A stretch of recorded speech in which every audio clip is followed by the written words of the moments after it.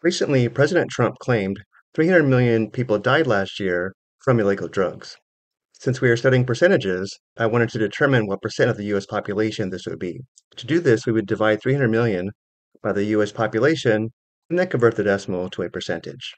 The US population is approximately 340.1 million, giving us 300 million divided by 340.1 million, which is approximately 0.882, which is 88.2% which means for this claim to be true, 88.2% of the US population would have had to die last year from drugs.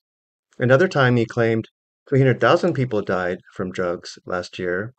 This is a thousand times less than the first claim, and we can see this would be approximately 0.0009 or 0.09% of the US population. However, according to the CDC in 2024, 80,000 371 people died from drugs, which was down from previous years, which would be approximately 0.023%. This just emphasizes just because someone says something doesn't make it true. I hope you found this helpful.